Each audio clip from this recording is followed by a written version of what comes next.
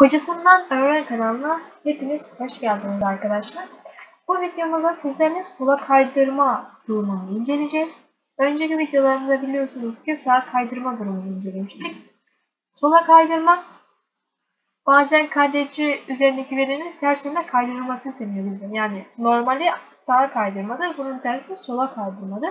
Sola kaydırma yapmak için sağa kaydırmada yaptığımız efekt çıkışları, efekt çıkış bağlantılarını tam tersini bağlamamız gerekiyor.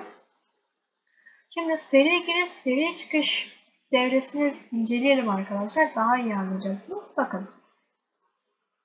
Biz ne yapıyoruz normalde? İlk flip yani e, D flip flop'la gerçekleştirecek olsak D0'ın ne yapıyorduk? D0 çıkışını D1'in girişine bağlıyorduk. Değil mi? Şu şekilde. D1'in çıkışını ne yapıyorduk? D2'nin girişine bağlıyorduk. Şimdi arkadaşlar biz bu yaptığımız işlemi aslında tam tersini yapacağız. Ne yapacağız? En sondan başlayacağız. 4 bitlik bir veriye girdiğim için ben D3'ten başlamam lazım. Geliyorum D3'ün çıkışına. Ne yapıyorum? D2'nin girişine. Daha sonra ne yapıyorum? D2'nin çıkışını alıyorum. Bakın geldim atlamamı yaptım. Nereye? D1'in girişine. Yaptığımız işlemi tam tersi arkadaşlar. Gördüğünüz gibi D1'in çıkışını alıyorum. Atlamamı yaptım. D0'ın girişine. Bunların saat darbeleri yine eş zamanlı oldukları için bunların saat darbelerini birbirine bağlıyoruz. Bakın saat darbelerini birbirine bağladık. Clear uçlarımız var arkadaşlar. Clear uçlarını bizim ne yapmamız gerekiyor? Bunlar da birbirine bağlamamız gerekiyor. Şu şekilde atlamalarınızı yapıyorsunuz. Bakın burada değil ucu var. Buna dikkat edelim. Değil ucu var. Değil ucu var. Clear uçlarımızı bağladıktan sonra arkadaşlar bunların girişlerini ve çıkışlarını bağlamamız lazım. Normalde girişlerini bağlarken biz ne yapıyorduk? İlk flip flop'umuz yani D0 flip flop'umuzun girişine bağlı değil mi? Ama bunun girişi D1'in çıkışı girilmiş. Ne yapıyorum ben? En sondaki flip flop'tan başladığım için bu e, en sondaki flip flop'un girişine veriyorum. Yani. Bakın. Geliyorum. SL, SÖ. Yani sola kay e, bu İngilizce e, kelimelerinin baş harfi arkadaşlar. Sola kaydırma serial, e, shift left serial input. Sola kaydırma seri girişi. Buraya geliyorum arkadaşlar. Bakın çıkışımı da buradan alıyorum. Shift left serial output. Buradan da çıkışımı alıyorum. Şimdi arkadaşlar ben bu şekilde devremi kurdum. Bakalım. Sinyalimizi inceleyelim şimdi. Diyor ki yukarıdaki devrede Shift'te Serial Output çıkışlı en soldaki flip flop'u ilk flip flop kabul edip hemen sağındaki ikinci flip flop çıkışına Q1, üçüncü flip flop çıkışına Q2, dördüncü flip flop çıkışına Q3 diyelim. Yani şunu dememizi istiyor arkadaşlar. Buraya Q3 diyeceğiz. Buraya Q2 diyeceğiz. Buraya Q1 diyeceğiz. Buraya da Q0 diyeceğiz. Devam edelim. Buna göre yandaki Shift Set Serial Input seri girişi için zamanı yakın geri kalan kısmına doldu. Bize şurası verilmiş arkadaşlar. Ve geri kalan kısmını doldurmamız Yani e, Shift Left Serial Output Q1, Q2, Q3 bunları benim yapmam gerekiyor. Yapalım. Tabloyu dol e, tabloyu dökelim ilk başta. Saat darbelerimizi yazdık. Kaç tane saat darbesi olması gerekiyormuş? 1, 2, 3, 4, 5, 6. Gördüğünüz gibi bakın. Şu şekilde de numaralandırırsak 5 6 saat darbesinde benim işimi görmem gerekiyormuş. Yazdım 6 saat, 6 tane saat darbemi. Sonra serial input'umu da giriyorum arkadaşlar. Bakın. Birinci saat darbemde 0. İkinci saat darbemde 1. Üçüncü saat darbemde 0. Dördüncü saat darbemde 0. Beşinci saat darbemde 0. Altıncı saat darbemde 0. Buna göre verilerimi girdim. Serial girişe. Sonra benden artık e, çıkışlarımı istiyor. Yapmam gereken ne arkadaşlar? Biz ne yapıyorduk? Hatırlarsanız sola e, sağ kaydırma işleminde sıfır verisi ya şey pardon sıfır verisi girerse kaydırıyordu. Bir verisini girerse tabi kaydırma işlemi daha iyi yapıyordu. Çünkü başlangıçta zaten hepsi sıfır. Bakın burası başlangıç durumu. Saat darbesi de yok. Sıfır değerine girdiğimizde bu sıfır değeri nereye giriyor? Buraya giriyor. Girdiği bu veriyi ne yapıyor? Bu tarafa kaydırıyor. Bu şekilde. Daha sonra ne yapıyor? Bir verisine giriyor. Bakın. Bir verisine girdi. Burada. En sondakine giriyor. Q3'e giriyor. Bir verisine buraya girdi. Ne yapıyor? Kaydırıyor. Daha sonra geliyor. Sıfır değerine giriyor. Sıfır değerine geldi. Girdi bakın. Daha sonra kaydırma işlemini yapıyor. Sola kaydırma işlemi de bu şekilde oluyor arkadaşlar. Diğer bütün sola kaydırma işlemleri de bu e, standarda göre işliyor. Şimdi biz bunu kağıt üzerine yaptık. Defterde yaptık. Tablomuzu doldurduk. Bir de bunun sinyalini çıkartalım. Bakalım. DLS o nasıl çıkması gerekiyor? Başlangıç durumu 0 olacak. Evet geldim. Başlangıç durumum 0. İlk saat darbemde 0. Nereye kadar? Ta ki 5. saat darbeme kadar benim 0 yapmam lazım. Geliyorum. 1. saat darbe, 2. saat darbe, 3. saat darbe, 4. saat darbe. Geliyorum 5. saat darbeme. İşlemimi ters diyorum. Yani mantık 0'dan mantık 1'e geçiyorum ve bir verimi giriyorum. Daha sonra 6. saat darbeme geldiğinde tekrar 0 oluyor.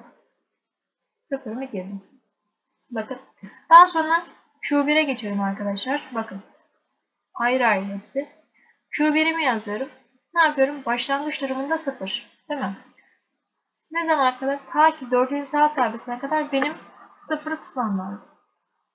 Evet, evet, evet. 4. saat darbesine geldim. Şimdi terslemem lazım. Tersliyorum.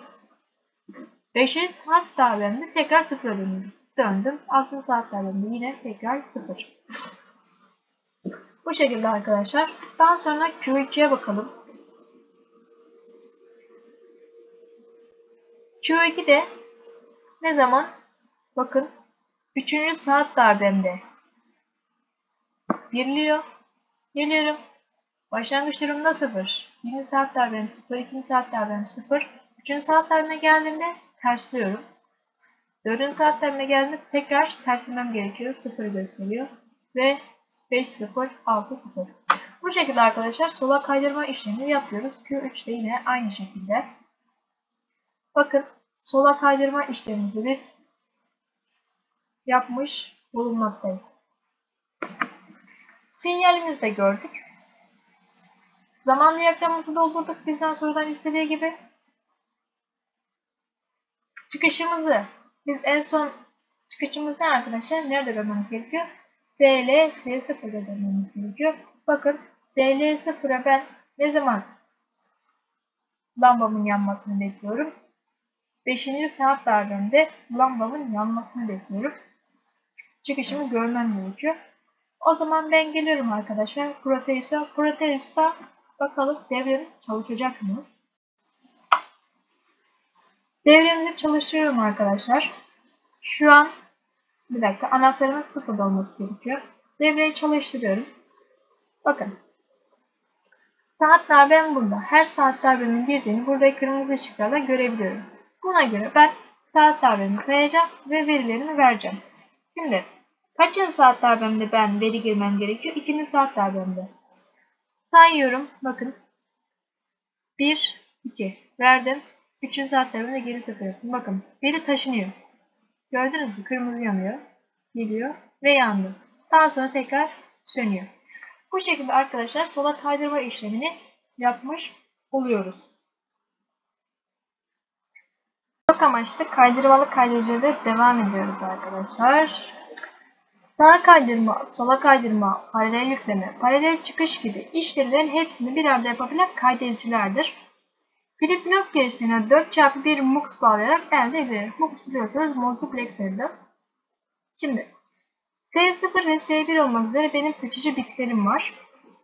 S0 ve S1'e girdiğim verilerle çalışma modumu belirliyorum. S0, 0, S1, 1 olursa benim modum önceki durumunu koruyor. Bu durum ne olacak? I0 mux girişine aynı flip flop'un çıkışı bağlanmalıdır. S1 0, S0 1 olursa modum çalış e, sağa kaydırma olacak. Çalışma modum sağa doğru kaydırma yapacak ve I1 e, mux girişine bir önceki flip flop'un çıkışı bağlanıyor. S1 1, S0 0 olursa benim modum sola kaydırma işlemi yapacak. I2 bu durumda mux'un girişine sonraki flip flop'un çıkışı bağlanıyor. S1 1, S0 1 olursa benim modum artık paralel yükleme yapmak olacak. Ve I3 e, mux girişine paralel giriş bağlıyor. Şimdi benim bitlerim var. A0, A1, A2, A3 sırasıyla saklanmaktadır. Bu A'lar benim çıkış bitlerim arkadaşlar. Bunlardan çıkışları görüyorum.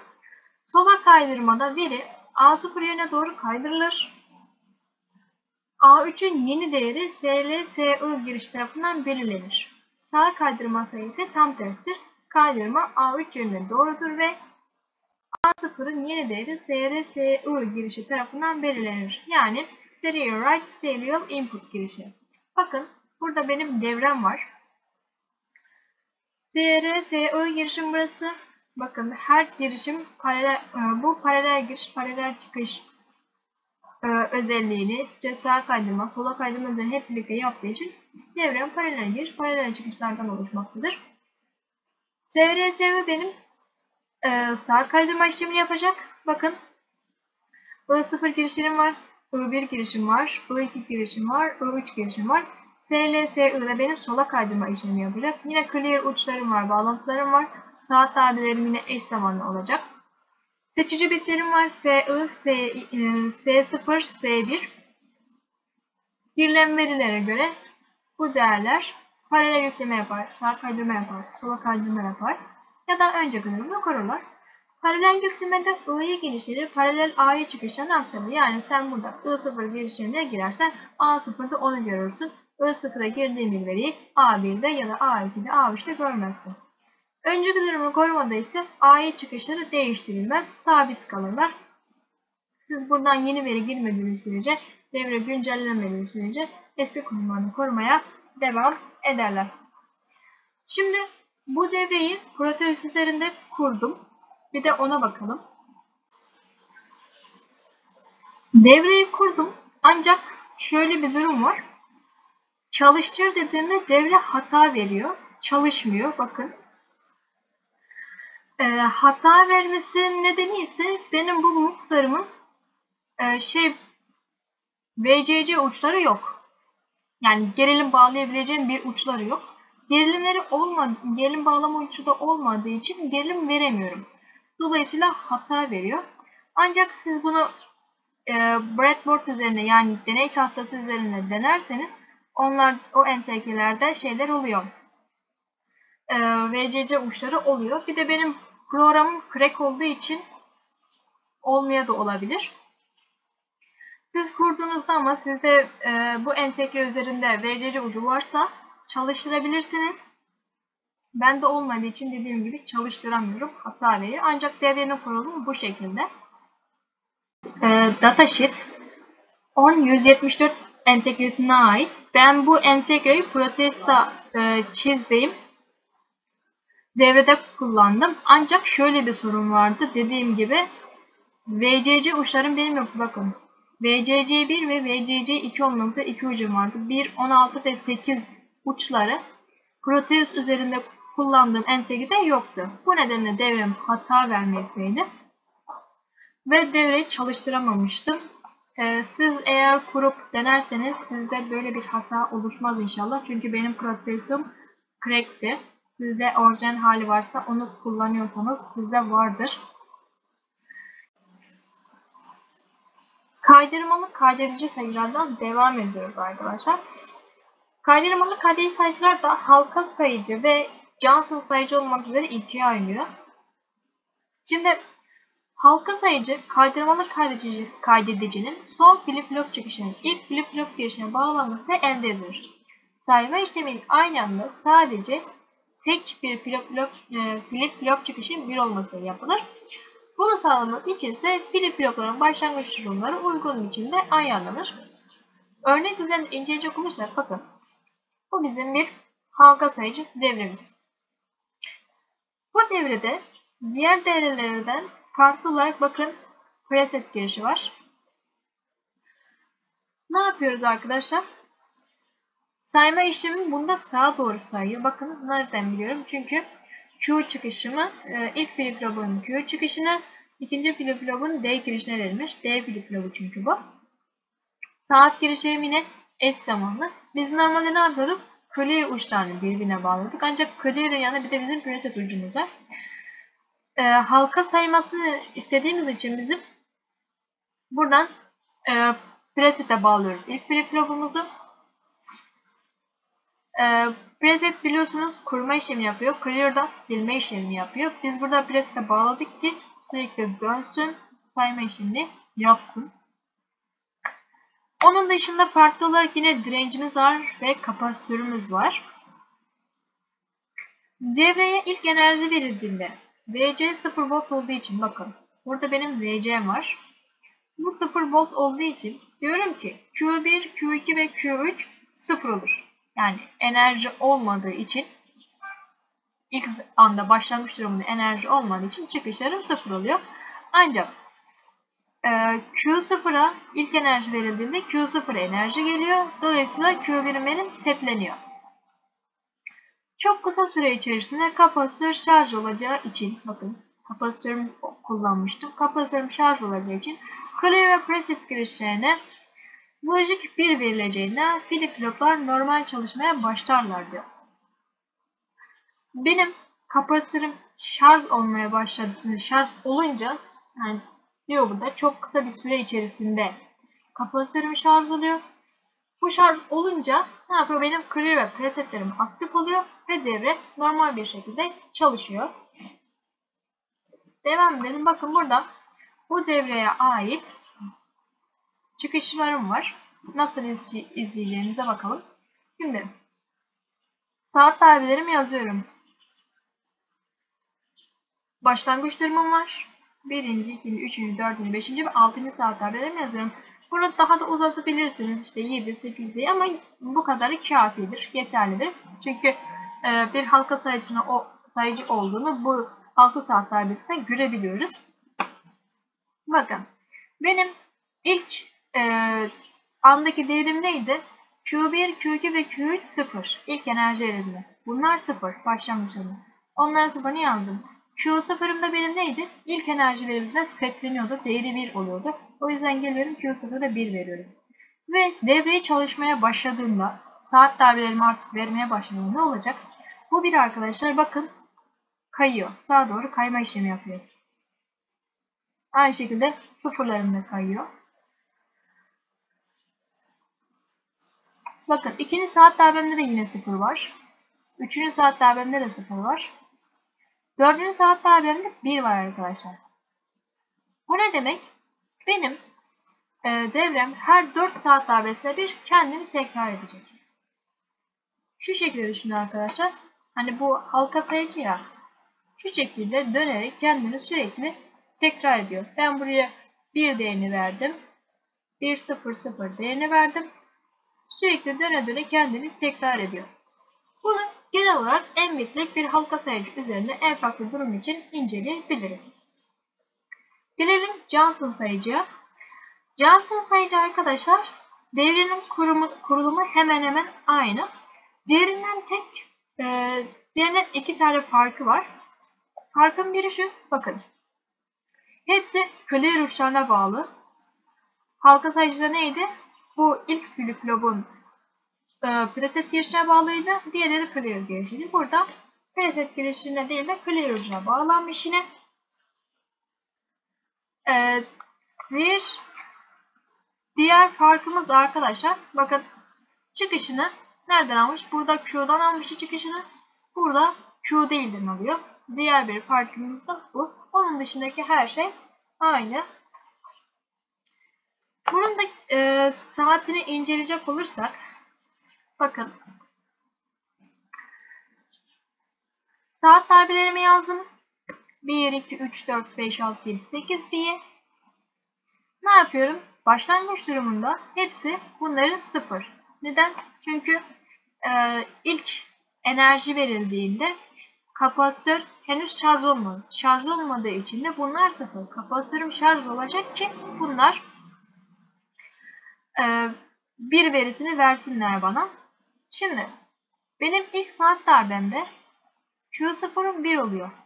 Kapasitörüm artık şarj olmuş ve kapasitörüm şarj olduğu için devre normal çalışmaya başlıyor. Ne yapıyor? Enerji artık geldi. Buradan bir verisi geldi. Buradan bir verisi geldiği için ne yapıyor?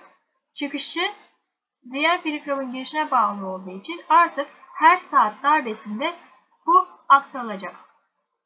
Bakın. İkinci saat darbemde burası da bir olacak. Sonra buraya aktaracak. Üçüncü saat darbemde üçüncü flop aktif olacak. Sonra dördüncü saat darbemde gelecek. Ee, son flip-flop'um aktif olacak. Sonra çıkışıma geliyorum. Q3'üme geliyorum. Q3'üm en son yanar. Bakın. Dördüncü saat darbeme geldiğimde bütün flip-flopların 1 olduğunu görüyoruz. Sonra ne oluyor arkadaşlar? Bütün flip-floplar 1 oldu. Aktif oldu. Sonra benim bakın burada Q değil çıkışım var değil mi? Ne yapıyor? Buradan bir sonucu gelince ben buradan 0 değerini alıyorum. Ne yapıyorum? Geliyor buraya artık 0 değerini giriyor. Artık diğer flip-floplar sırayla sıfırlanmaya başlıyor. Sırayla sıfırlanınca bakın sağa doğru kaydırarak sürekli sıfırlama işlemi yapıyor. Bakın birler sürekli sağa doğru kayıyor. Ne oluyor? 7. adıma geldiğimde son flip-flop'um benim bir gösteriyor. Yanıyor en son. Yani e, zaten yanıp durumdaydı. En son 7. saat darbesinden yanıp 8. saat darbesine geçtiğinde sönüyor. Ve benim 8 saat darbesinde sayıcı başa dönerek tekrar etmektedir. Bakın 8. saat darbesinde ben yine başlangıç durumuna geliyorum. 9. adıma geldiğimde ben yine 1, 0, 0, 0 değerlerini alıp devam edebilirim. Bu işlemi biz ne kadar istersek o kadar tekrar ederiz. Sayısal devre tasarımı ile ilgili konularımız bu kadardı. Artık sayısal devre tasarımı ile ilgili bir şey eklemeyeceğim. Tabi eklememi istediğiniz ekstradan konu olursa onu eklerim. Bu kadardı arkadaşlar. Görüşmek üzere.